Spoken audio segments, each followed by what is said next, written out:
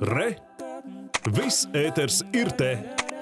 Nacionālo bruņoto spēku štāba orķestrim šogad 30. jubileja un tuvojas jau šo sestdienu noslēguma koncerts šai jubilejai. Un par to vairāk mūsu kolēģi Ilze. Labrīt, Labrīt. Ilze! Labrīt! Svinot Nacionālo bruņoto spēku štāba orķestra 30. gada dienu, šogad jau aizvadīti vairāki koncerti, bet šīs nedēļas nogalē ir gaidāms noslēguma koncerts.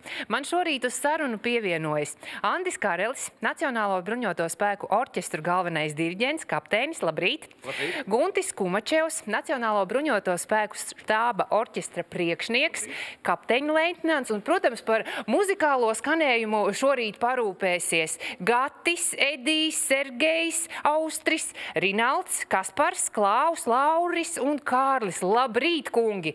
Man eh, nedaudz eh, atzīšos godīgi neliels satraukums tik eh, kuplā kungu skaitā. Bet runājot par Nacionālo bruņoto spēku orķestra tātad pašu pastāvēšanu un 30. gada dienu, kā šo gadu gaitā orķestris ir audzis, varbūt mainījies? Protams, 30 gadi ir diezgan garš laika nogrieznis ā, mākslinieckajai apvienībai un arī militārai vienībai. Orķestris ir audzis gan skaitliskā ziņā, gan profesionālā ziņā. Ja sākotnēji tie bija apmēram 20 cilvēki 92. gadā, kas ā, 1. februārī nospēlēja pirmo oficiālo ceremoniju, kad Latvijas robežsardze no padomju okupācijas armijas pārņēma robežsardzes ā, posteņu lidostā Rīga. Tad tagad jau mēs esam Kupls ā, 43 cilvēku sastāvs. Laika gaitā kādreiz bijis arī lielāks orķestris, tad mēs atgriežamies pie tiem standartiem. Augam, augam. Un uh, arī orķestris ļoti plaši pilnveidojies. Kā jūs redzat, šodien pie mums ir estrādes ansamblis. Orķestrī darbojas dažādi kameru ansambļi, kas ir uh, pazīstami gan Latvijā, gan ārpus Latvijas. Esam ieskaņojuši vairākus uh, mūzikas ierakstu albumus. Un, uh, bet mēs turpinām augt. Mēs to latiņu ceļām, ceļām ar, ar katru reizi, ar katru izdarīto darbu. Protams, kā jau jebkuram kolektīvam ir tā vēlme celt, celt, celt augstāk un būt pēc iespējas labākiem gan Latvijā, gan arī ārpus Latvijas robežām. E, Gunti, jautāšu jums, Nacionālo bruņoto spēku orķestra viens no dibinātājiem ir Dainis Vuškāns, kurš arī ilgus gadus e, vadījis e, orķestri un arī sarakstījis grāmatu, kuras tādu pirm ne atskaņojumu, bet lasījumu un e, kopumā grāmatu varēja tātad e, jau ieraudzīt grāmatu plauktos e, šī gada rudenī starp pērkšķiem un zvaigznēm.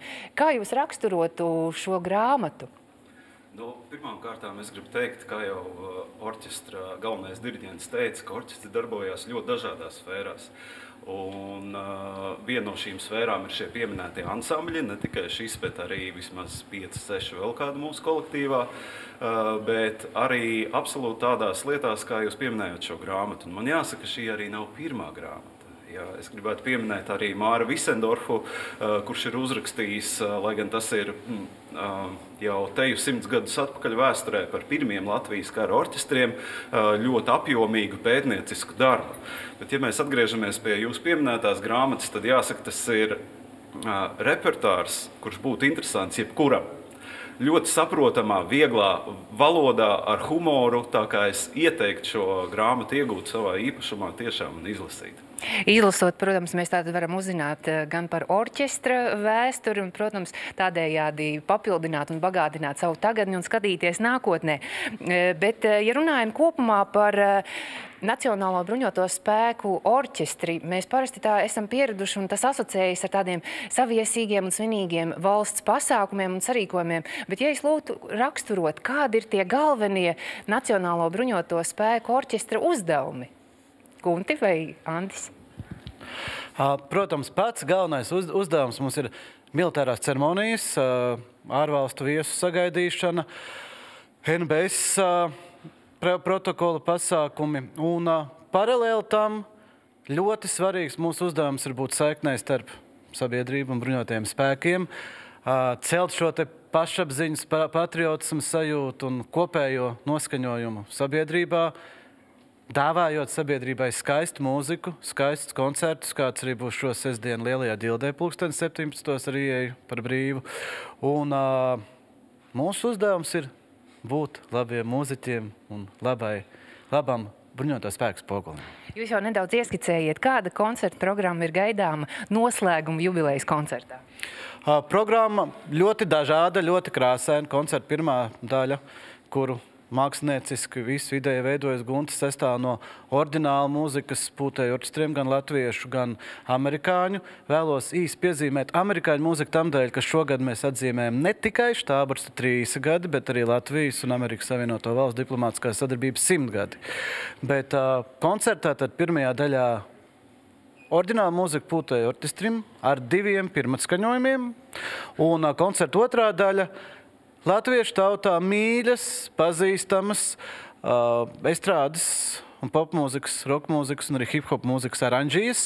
Uh, jaunās skaņās lielākoties radīts speciāli šim koncertam. Liela daļa oranžējums ir radījis Austris, kas arī šodien ir pie klavierēm, speciāli šim koncertam, speciāli štāba orķestrim. Un uh, koncertā būs arī solisti. Gan pirmajā daļā būs mūsu pašu uzturu solisti, klarnetists Gunārs Gedroits un Ričards Lapiņš. Uh, koncerta otrajā daļā dzirdēsim arī šorīt dzirdamo Gati Supi. Uh, būs arī viesolisti, būs Zemesardzes orķestra solisti Luīza Krasta, Gita Puikavits Puikevska, mūsu viesis no 54. Zemesardzes bataljona Atis Sieviņš, uh, Klāvs Borozdins un arī Ilona Dzērve. Gaidāma ļoti daudzveidīga muzikālā programma, bet jau nākamnedēļ sagaidīsim un svinēsim Ziemassvētkus. Gunti, varbūt pastāstiet, ar kādām sajūtām jūs gaidat šos svētkus?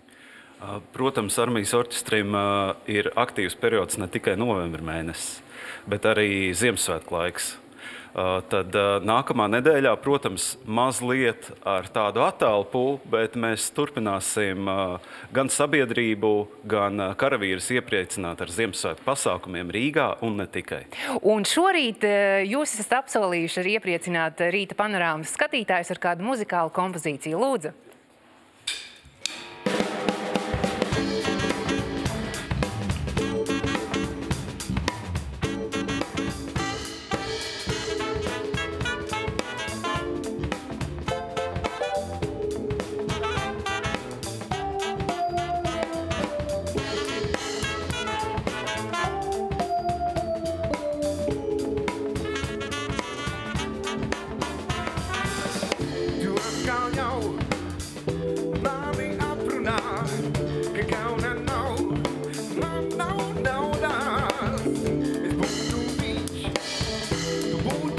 Man, bet tevis